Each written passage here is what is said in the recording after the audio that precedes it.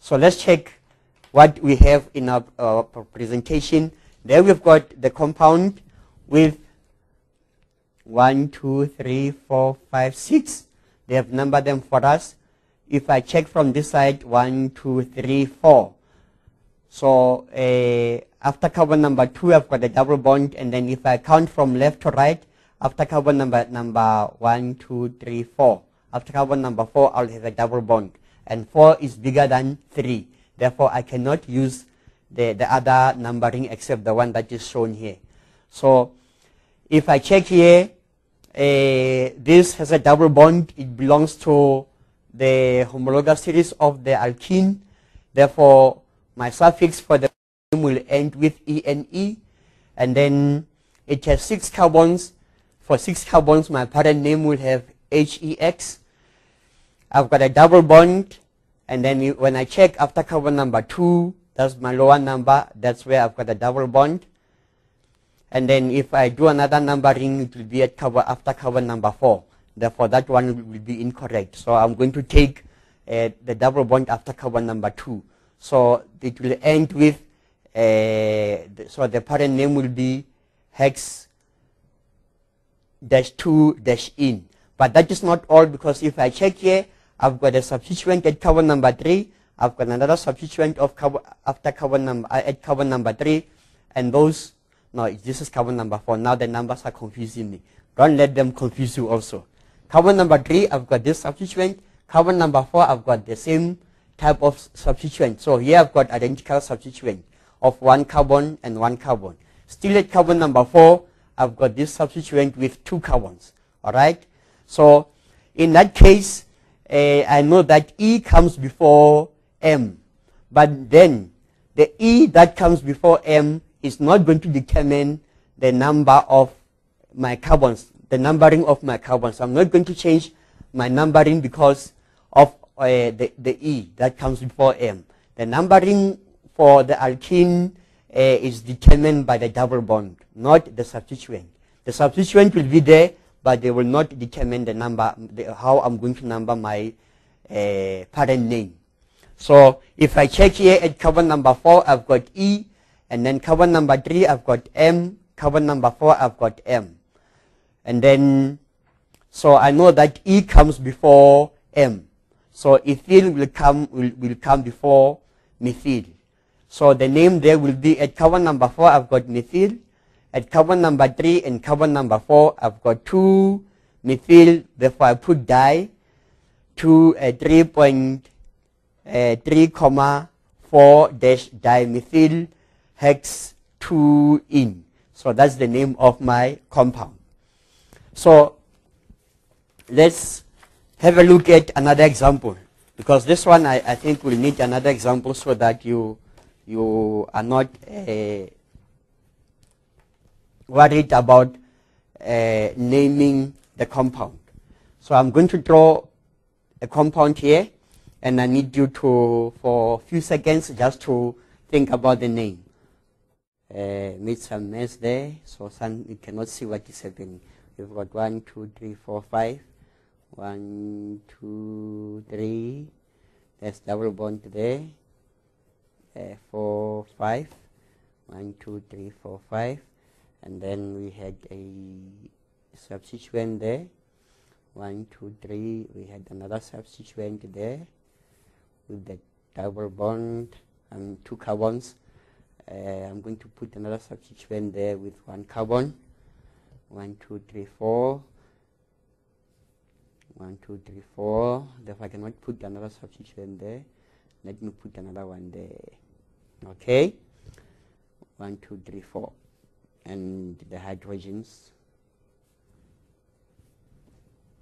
around each substituent and the parent name.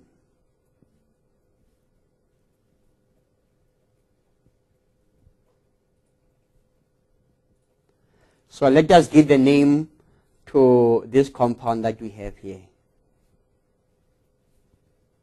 I'm going to give you a few seconds after I, I, I, remove my hand here so that you can see the, the structure.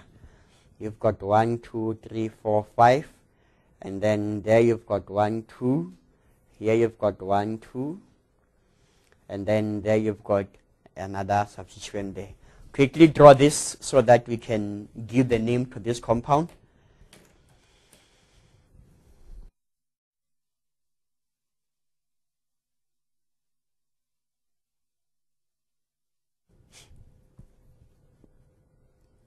All right.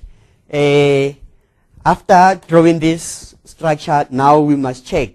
Let us label our carbons in the long chain. Uh, we've got one, two, three, four, five. Uh, this is the long chain that we can take. We cannot take this one.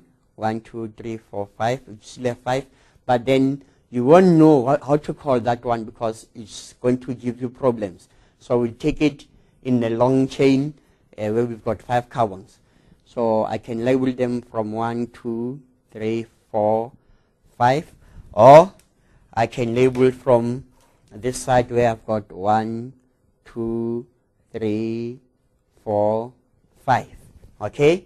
So if I check here, uh, remember we said when you label the, the compound uh, containing double bond, you don't worry about the substituent. Your worry is with where the double bond is.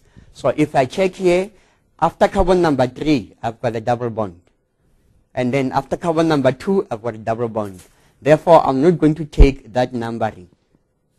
The bottom numbering is not the, the, the one that I will consider because it gives me the bigger number.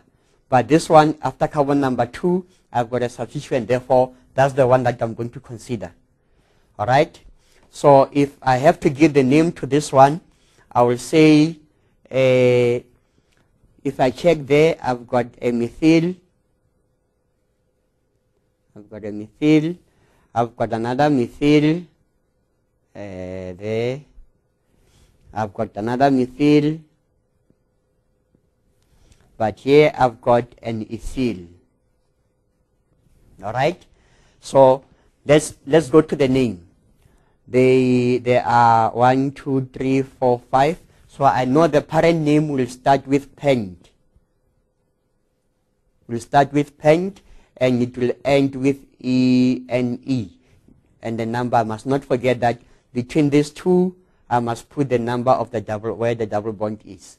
So the name, we say, uh, if I check, I've got E and M, but I know that E comes before M and then uh, at carbon number 3 at carbon number 3 I've got a, an ethyl.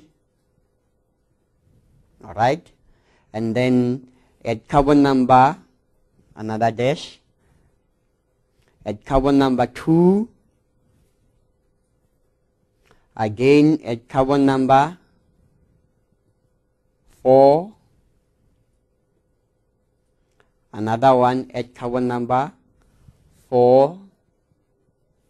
I've got 1, 2, 3. My numbers are also 1, 2, 3. And then I put a dash. Uh, because there are three of them, I must start with try to indicate that there are three substituents of methyl. And then the parent name has five we said is pent. And then after carbon number 2, after carbon number 2, I've got a double bond, pent in. All right.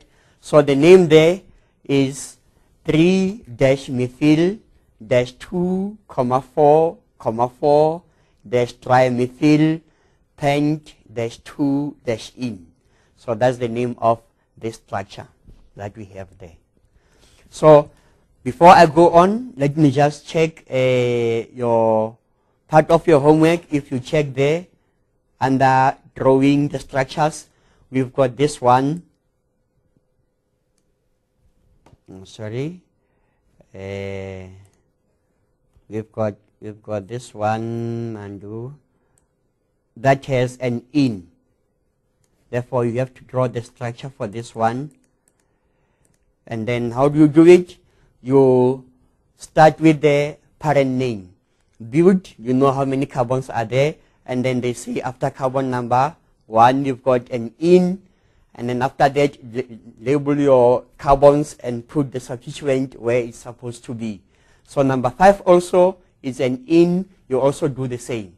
Uh, check uh, the parent name has how many carbons, after which carbon you put the double bond.